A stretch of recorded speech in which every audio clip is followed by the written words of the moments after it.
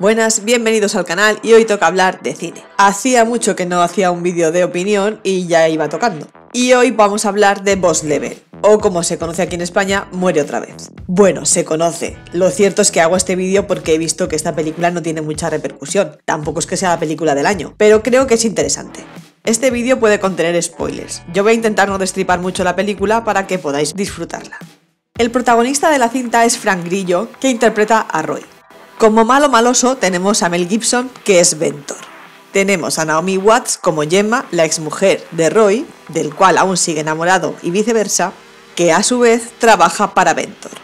La película nos cuenta cómo Roy está atrapado en un bucle temporal y nos va marcando en qué día repetitivo está y empieza sobre el 140 o algo así. La peli ya empieza muy arriba con mucha acción porque este buen hombre ha tenido la suerte de que ese día que se repite continuamente pues es un día en el que intentan matarlo, pero no una vez, ni dos, ni tres, o sea, a mogollón.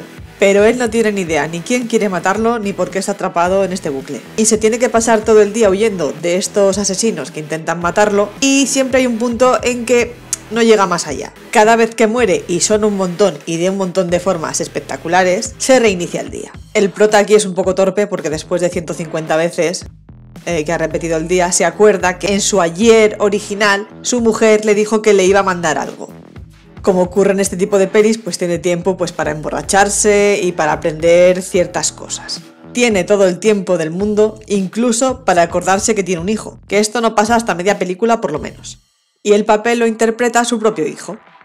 Solo que hay un problemilla, tiene todo el tiempo del mundo, pero esto va a tener consecuencias. La peli tiene mucha acción, es muy entretenida, es divertida, hay algún momento que pueda parecer gore, tiene sus peros, por lo menos para mí los tiene, y son que los secundarios pues están bastante desaprovechados porque todo se centra en Roy.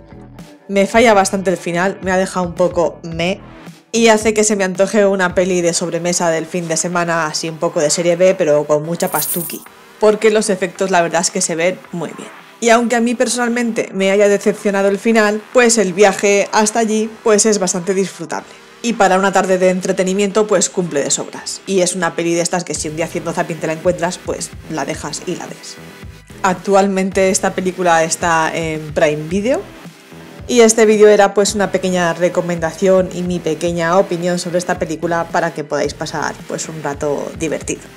Dadle like al vídeo si os ha gustado, suscribíos al canal para más contenido y nos vemos en otro vídeo. Adiós. Llevo mucho tiempo esperando este momento.